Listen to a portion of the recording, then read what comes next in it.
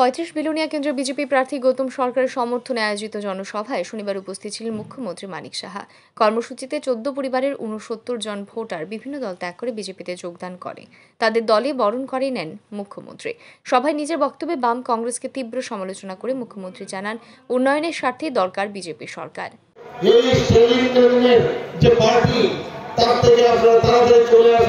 সেই ফরেন যে ফিলোসফি ত্রিপুরাতে আর এখানে তার স্থান আপনারা দেবেন না। বেঙ্গলের আমরা অবস্থা দেখেছি, সেখানে মানুষ চেয়েছিল একটা মুক্তির স্বাদ পেতে। মানুষ দিয়েও ছিল। কিন্তু আজকে আমরা কি দেখছি?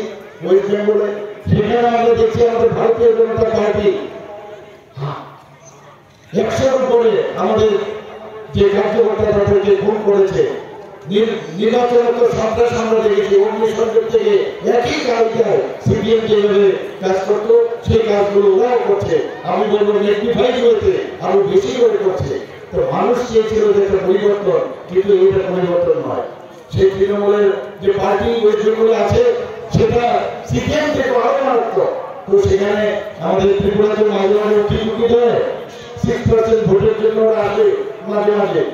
জনজাতি উন্নয়নে প্রধানমন্ত্রী নরেন্দ্র মোদীর আন্তরিক দৃষ্টিভঙ্গি তুলে ধরেন মুখ্যমন্ত্রী।